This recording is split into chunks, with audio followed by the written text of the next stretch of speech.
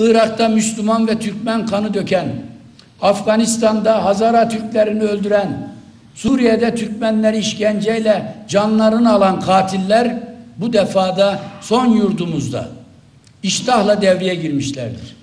Kudüs'ün kapısına dayanan Haçlı operasyonu hala iş başında, hala görevdedir. Fethullahçı terör örgütü bunların Türkiye'ye tutulmuş ortakçılarıdır. 12 Eylül'de bizim çocuklar kazandı diyorlardı.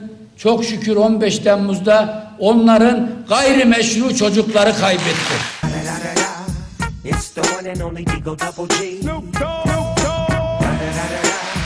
Bu kez Türk milleti kazandı, Türkiye ayaklandı, ayıklandı ve yeni